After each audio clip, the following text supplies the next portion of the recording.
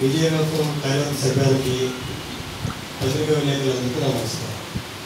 నేను ఆంధ్రప్రదేశ్ కాంగ్రెస్ కౌన్సిల్ సభ్యుడిగా ఉన్నాను నామినేట్ సభ్యుడిగా. రాష్ట్రం నుంచి ఐదు నామినేట్ సభ్యుడిగా ఉన్నాను నేను జీటీ హెల్త్ కేర్ ప్రైవేట్ అనే కంపెనీని రెండు రెండు సంవత్సరాల క్రితం స్థాపించాను. ఎందుకంటే తలసీమియా డిసీజెస్ బారిన పడడానికి వారికి డిఫరెన్స్ మందు కావాల్సి వస్తుంది. ఆ మందు యొక్క రా మన పరమాణం తయారవుతుంది ప్రపంచంలోనే తయారైన నాలుగైదు కంపెనీలు ఒకటి పరమాణం ఉంది వాళ్ళు ఐదు కేజీలు పది కేజీలు తయారు చేస్తారు ఆ మందు. చాలా వాల్యూబుల్ మందు పడ్డ దానికి ఫార్ములేషన్ ప్రక్రియలో అది పదిహేను వేల రూపాయలు పడిపోతుంది ఒక టాబ్లెట్ మనం తయారు చేస్తే దాన్ని ఐదు రూపాయలకే తయారు చేయొచ్చు అంటే తలసీమియా డిసీజ్ వచ్చిన ఒక పేషెంట్ వాళ్ళ బాడీలో రక్తం ఎక్కించుకోవడం వల్ల ఐరన్ డిపాజిట్స్ ఉండిపోతాయి. డిపాజిట్స్ అంతా పోవాలంటే ఈ డిఫరెన్స్ సెలెక్స్ అనే టాబ్లెట్ వేసుకోవాలి.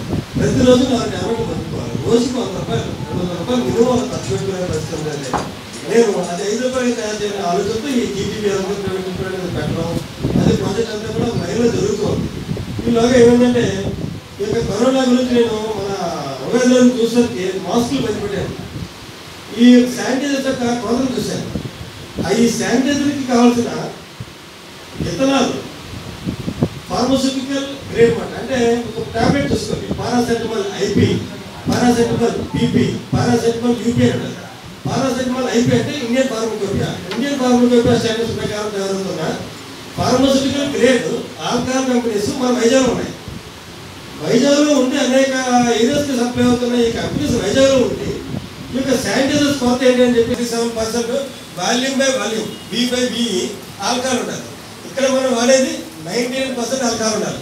నైంటీ నైన్ పర్సెంట్ ఆల్కహాల్ వంద ఎంఎల్లో ఎయిటీ ఎంఎల్ ఉండాలి.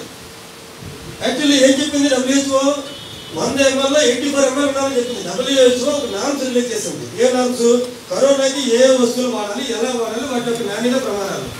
మన మన రాష్ట్ర ప్రభుత్వం ఏం చేసింది? ఎయిటీ ఫోర్ ఎక్కర్లేదు ఎయిటీ పర్సెంట్ చాలా ఉంది.